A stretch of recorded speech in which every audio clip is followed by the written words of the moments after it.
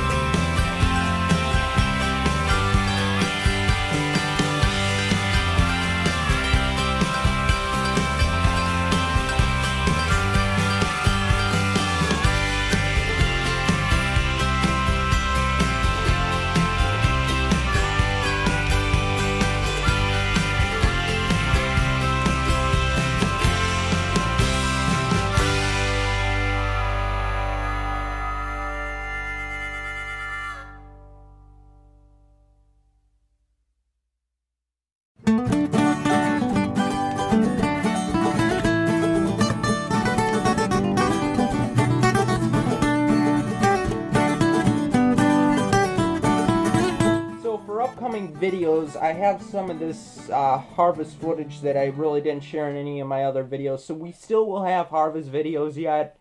Uh, and just stuff that we've seen over the course of the harvest season.